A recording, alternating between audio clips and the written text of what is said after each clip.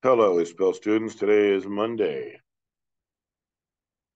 Today you will need, most likely, sure, uh, your Chromebook. You might need your workbook as well, but for sure you'll need your Chromebook in order to give you a personal image to work from as opposed to what I might project for our graphic organizer today as our uh, lesson check. And today is here. I should fix that. My little deal over here and hold on. Come on, buddy. Let's do it. Not quite there yet.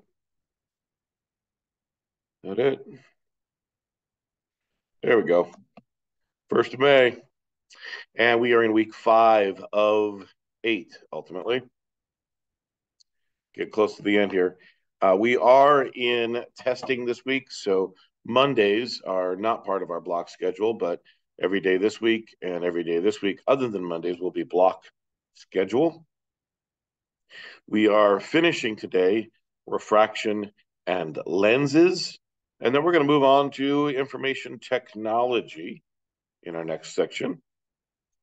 Uh, today we'll have this basic video in the beginning, and then we'll have a video on camera lenses and how they really function. So a little uh, clue there as to how these different types of lenses, convex and concave, come together into a functional tool that we use in photography beyond what's there in your iPhone or your Samsung Galaxy or whatever you have.